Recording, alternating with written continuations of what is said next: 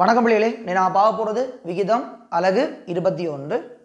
முதல்ல விகிதம் என்றால் என்ன? என்றதை ஒழுங்காக விளங்கி கொள்ளுங்க. கவனிங்க. ஒரு போத்தலில் பழச்சாறு இருக்குது அது ஐநூறு மில்லிலிட்டர் அளவுடையது. இன்னொரு பாத்திரத்தில் நீர் நிரப்பப்பட்டிருக்கு. அது ஒரு லிட்டர் அளவுடையது. இப்போ இந்த பழச்சாறு செறிவு கூடியது. அதில் நாங்கள் நீர் கொஞ்சம் கலந்து ஒரு குறிப்பிட்ட விகிதத்தில் நீர் கலந்து பழப்பானம் தயாரிக்க போகிறோம் ஆகவே பழச்சாற்றையும் நீரையும் கலந்தால் எங்களுக்கு கிடைக்கிறது பழப்பானம். இதைத்தான் அறந்த முடியும். ரைட் இதில் பழச்சாறு ஐநூறு மில்லிலிட்டரும் நீர் ஒரு லிட்டரையும் கலக்க போகிறோம் இங்கே பாருங்கள் இரண்டுமே கனவளவை அளக்கின்ற அலகுகள். மிரலீட்டரும் கனவளவை அளக்கின்ற அலகு லீட்டரும் கனவளவை அளக்கின்ற அலகு. இங்கே பழச்சாற்றுக்கு எவ்வளவு நீர் கலக்க போகிறோம்ன்றதை நாங்கள் ஒரு ஒப்பிட போகிறோம் எப்படின்னா பாருங்க இரண்டுமே ஒரே அழகுள்ள கணியங்கள் அப்போ ஒரே அழகுள்ள கணியங்களை ஒப்பிட்டமாக இருந்தால் அதான் விகிதம். கவனிங்க எல்லாரும். ஒப்பிட போகிறோம் கவனிங்க. பழச்சாற்றுக்கு நீர் இதுதான் விகிதத்தை குறிக்கின்ற குறியீடு. டபுள் டோட் வச்சிங்களா இருந்தால் அதான் விகிதம். இப்போ பழச்சாறு பார்த்தீங்கன்னு சொன்னால் ஐநூறு மில்லி லிட்டர் நீர் ஒரு லிட்டர் இரண்டும் கனவளவை அளக்கின்ற அழகா இருந்தாலும் இது மிரலீட்டர்லையும் இது லீட்டர்லையும் இருக்கிறபடியால் நான் இந்த நீரினுடைய கனவளவை அதாவது இந்த லீட்டரை மிரலீட்டரா மாற்ற போகிறேன் ஒரு லீட்டர் ஆயிரம் மிரலீட்டருக்கு சமம். ஆகவே இந்த ஒரு லிட்டருக்கு பதிலாக ஆயிரம் மிரலீட்டர் நான் போட்டுக்கொள்கிறேன் இப்போ பாருங்க. பழச்சாறும் மிரலீட்டர்லான் இருக்குது நீரும் மிரலீட்டர்லான் இருக்குது. இரண்டுமே ஒரே அலகில் இப்போ இருக்கிறபடியால் இப்போ நாங்கள் இதை ஒப்பிடலாம். பழச்சாற்றுக்கு பதிலாக ஐநூறையும் ஐநூறு மிரலீட்டர் நான் அலகு போடாமல் பருமனை மட்டும் போட்டுக்கொள்கிறேன் ஐநூறையும். நீர் பாருங்க ஒரு லிட்டருக்கு பதிலாக ஆயிரம் மிரலீட்டரையும் நான் போட்டுக்கொள்கிறேன் ஆயிரம் மிரலீட்டர் இங்கே பார்த்தீங்கன்னு சொன்னால் பாருங்கள் பழச்சாறு ஐநூறு மிரலீட்டர் நீர் ஒரு லிட்டர் அதாவது ஆயிரம் மிரலீட்டர் இரண்டுமே ஒரே அழகுள்ள கனியங்களாக மாற்றப்பட்டாச்சு. பழச்சாறும் மிரலீட்டர் நீரும் மிரலீட்டர் எனவே ஒப்பிட முடியும். இந்த ஐநூறையும் ஆயிரத்தையும் நாங்கள் ஒப்பிட போகிறோம் ஐநூறு ஆயிரத்திற்கு இதை நாங்கள் வாசிக்கும் போது ஐநூறு ஆயிரத்திற்கு என்று ஒப்பிடலாம். கவனிங்க. இப்போ இந்த இரண்டு எண்களையும் ஒரே மடங்காலனா சுருக்க போறேன். ஐநூறுக்குள்ள ஐநூறு ஒரு முறை. ஆயிரத்துக்குள்ள ஐநூறு இரண்டு முறை. ஆகவே இங்க கலக்கப்பட்ட பழச்சாறும் நீரையும் ஒப்பிட்டீங்களா இருந்தா பழச்சாறு ஒரு பங்கும் நீர் இரண்டு பங்கும் கலக்கப்பட்டிருக்கு. ஆகவே இங்க கலக்கப்பட்ட பழச்சாறுக்கும் நீருக்கும் இடையிலான விகிதம் பழச்சாறு ஒரு பங்கு நீர் இரண்டு பங்கு. ஆகவே ஒன்று இரண்டிற்கு. எப்படி வாசிக்கிறது? ஒன்று இரண்டிற்கு. அப்போ பழச்சாறு ஒரு பங்கும் நீர் இரண்டு பங்கும் கலக்கப்பட்டபடியால் இதை வாசிக்கும் போது ஒன்று இரண்டிற்கு எப்படி வாசிக்கணும். விகிதம் என்பது ஒரே அலகுள்ள ஏன் ஒரே அலகுன்னு சொல்கிறேன் இதுவும் கனவளவு பாருங்கள் மில்லிலீட்டர் நீரின் கனவளவும் மில்லிலீட்டர் ஒரே அலகு. ஆகவே ஒரே அலகுள்ள இரண்டு கணியங்களையோ அல்லது இரண்டிற்கு மேற்பட்ட கணியங்களையோ ஒப்பிட்டமா இருந்தால் அதான் சொல்லுவோம் விகிதம்னு சொல்லுவோம்.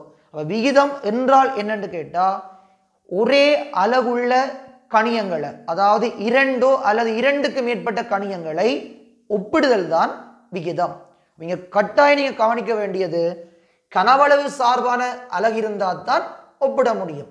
அல்லது எல்லாமே திணிவு சார்பான அலகு இருந்தால் தான் ஒப்பிட முடியும்.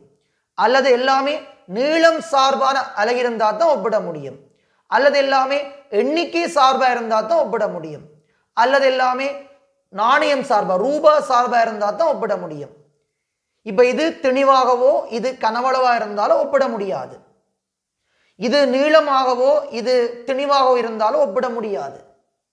இது எண்ணிக்கையாகவோ இது வந்து உயரமாகவோ இருந்தாலும் ஒப்பிட முடியாது. புரிதலாக இருக்கும் ஒரே அலகுள்ள இரண்டு அல்லது இரண்டுக்கு மேற்பட்ட கணியங்களை ஒப்பிட்டமாக இருந்தால் அதுதான் விகிதம். இன்னொரு உதாரணம் சொல்கிறோம் பாருங்க. ஒரு மரம் பத்து மீட்டர் உயர முடியாது. ஒரு செடி ஒரு மீட்டர் உயர முடியாது. மரமும் உயரம் செடியும் உயரம். இரண்டுமே பாருங்க மீட்டர் மீட்டர் ஒரே அலகு ஆகவே மரத்திற்கும் செடியிற்கும் இடையிலான உயரத்தை ஒப்பிட சொன்னால் இரண்டுமே மீட்டர் நேரடியாக ஒப்பிடலாம். பத்து ஒன்றிற்கு பத்து ஒன்றிற்கு. அப்போ மரத்திற்கும் செடிக்குமான உயரத்துக்கான விகிதம் கேட்டால் பத்து ஒன்றிற்கு. இன்னொரு உதாரணம் சொல்கிறேன் பாருங்க. ஒரு வகுப்பில் முப்பது மாணவர்கள் இருக்காங்க. ஒரு ஆசிரியர் கற்பிக்கிறாங்க. ஒரு ஆசிரியர் கற்பிக்கிறாங்க. முப்பது மாணவர்கள் படிக்கிறாங்க.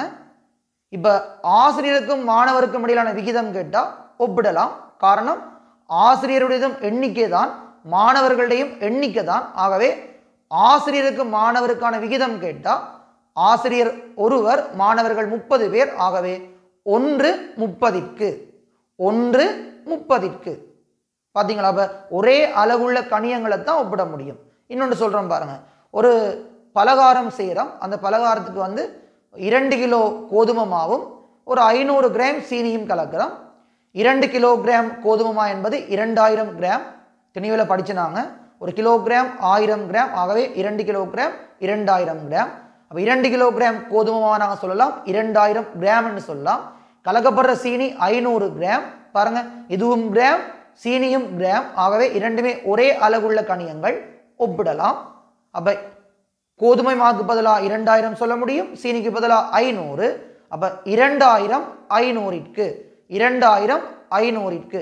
அதை நாங்கள் வெளியே வடிவுக்கு மாற்றினோம்னு சொன்னால் ஐநூறை போல் ஐநூறு ஒரு மடங்கு இரண்டாயிரம் வந்து ஐநூறை போல் நாலு மடங்கு எனவே நான்கு ஒன்றிற்கு நான்கு ஒன்றிற்கு. ஒரே அழகுள்ள கணியங்களைத்தான் ஒப்பிட முடியுமே ஒழிய வெவ்வேறு அழகுள்ள கணியங்களை ஒப்பிட முடியாது விகிதத்தில். உதாரணம் சொல்கிறேன் பாருங்க ஒப்பிட முடியாத கணியங்கள் சொல்கிறேன் பாருங்க. இரண்டு கிலோகிராம் கோதுமை மாவுக்கு ஐநூறு மில்லிலிட்டர் நீர் சேர்க்கிறோம்னு சொன்னால் இது திணிவு கிலோகிராம் இது நீர் கனவளவு மில்லிலிட்டர் இரண்டுமே வேறு வேறு அழகுள்ள கணியங்கள் எனவே இங்கே ஒப்பிட முடியாது. புரியுதா? அதே மாதிரி ஒரு இரண்டு லிட்டர் பெட்ரோல் நிரப்பிய ஒரு மோட்டார் சைக்கிள் நூறு கிலோமீட்டர் தூரம் பயணிக்குது. இப்போ இரண்டு கிலோ இரண்டு லிட்டர் இது இது கனவளவு பெட்ரோலின் அளவு கனவளவு. இது லீட்டர் இங்கே பயணிக்கிற தூரம் கிலோமீட்டர் எனவே இங்கே லீட்டர் என்ற கணியம் இங்கே லீட்டர் உள்ள கனவளவு என்ற கணியம் இங்கே கிலோமீட்டரில் அளக்கப்படுகின்ற தூரம் என்ற கணியம் எனவே இது கனவளவு இது தூரம். வேறு வேறு அளவுள்ள கணியங்கள் எனவே வேறு வேறு அளவுள்ள கணியங்களை விகிதத்தில் ஒப்பிட முடியாது. அப்போ இறுதி அவருக்க சொல்கிறோம் பாருங்க. விகிதம் என்பது ஒரே அழகுள்ள கணியங்கள் இரண்டு கணியங்களோ அல்ல இரண்டுக்கு மேற்பட்ட கணியங்களோ ஒரே அழகா இருக்கணும். அப்படி ஒரே அளவுள்ள கணியங்களை ஒப்பிட்டமா இருந்தால் அதுதான் விகிதம். உதாரணம் சொல்ல போகிறோம் கவனிங்க. மூன்று கிலோகிராம் மாவோட ஐநூறு கிராம் சீனி கலக்கப்பட்டு ஒரு சிற்றுண்டி தயாரிக்கப்படுது. அவங்க கலக்கப்படுகின்ற மாவிற்கும் சீனிக்கும் இடையிலான விகிதம் கேட்கப்படுது. நான் முதல்ல இரண்டு கணியங்களையும் ஒரே அழகா மாத்துறேன்.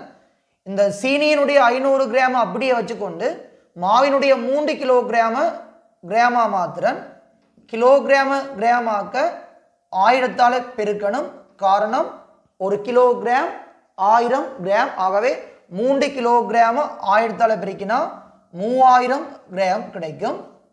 இப்போ நான் மா சீனி எழுதி கொள்கிறேன் இங்கே டபுள் டாட் வைகி இதுதான் விகிதத்தை குறிக்கின்ற குறியீடு. இதை வாசிக்கிறேன்னு பாருங்க. மா சீனியிற்கு மா சீனியிற்கு கவனிங்க. மா மூன்று கிலோகிராம் நான் மூன்று கிலோகிராம் இங்கே பயன்படுத்தாமல் மூன்று கிலோகிராமுக்கு பதிலாக மூவாயிரம் கிராம் என்ற அளவை தான் பயன்படுத்த போகிறேன் இப்போ மாவிற்கு பதிலாக மூவாயிரம். டபுள் டோட் சீனி வந்து ஐநூறு கிராம் சீனிக்கு பதிலாக ஐநூறு. பாருங்கள் இரண்டுமே கிராம் ஒரே அலகு. ஆகவே ஒப்பிட முடியும். இப்போ இரண்டு பக்கமும் ஒரே மடங்கால சுருக்க போகிறேன் ஐநூறுக்குள்ள ஐநூறு ஒரு முறை. மூவாயிரத்துக்குள்ள ஐநூறு ஆறு முறை. ஏன்? ஒரு ஆயிரத்துக்குள் ஐநூறு ரெண்டு தடவைகள். அப்போ மூவாயிரத்தில் மூவி ரெண்டு ஆறு தடவைகள்.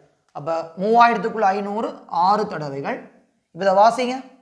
மா ஆறு பங்கும் சீனி ஒரு பங்கும். அதாவது ஆறு ஒன்றிற்கு. ஆறு ஒன்றிற்கு. அப்போ இதை வாசிக்கும் போது முதலாவது முதல் வாசிக்கணும். ஆறு அப்புறம் ஒன்றிற்கண்டு இற்கென்ற சொல்ல சேர்த்து வாசிக்கணும். ஆகவே இந்த நாங்கள் விகிதத்தை வாசிக்கும் போது ஆறு ஒன்றிற்கு. ஆறு மடங்கு மாவும் ஒரு மடங்கு சீனி இங்க கலக்கப்படுது. ரெண்டாவது பாருங்க. ரெண்டு லிட்டர் பாலோட இருநூறு மில்லி லிட்டர் நீர் கலக்கப்படுதாம். இப்போ நான் இந்த ரெண்டு லிட்டரை மில்லி லிட்டராக மாற்ற போகிறேன் ஒரு லிட்டர் ஆயிரம் மில்லி லிட்டருக்கு சமம். அப்போ ரெண்டு லிட்டரை மில்லி லிட்டர் ஆக்கும்போது ஆயிரத்தால் பெருக்கணும். ரெண்டு தர ஆயிரம் இரண்டாயிரம் இரு லிட்டர்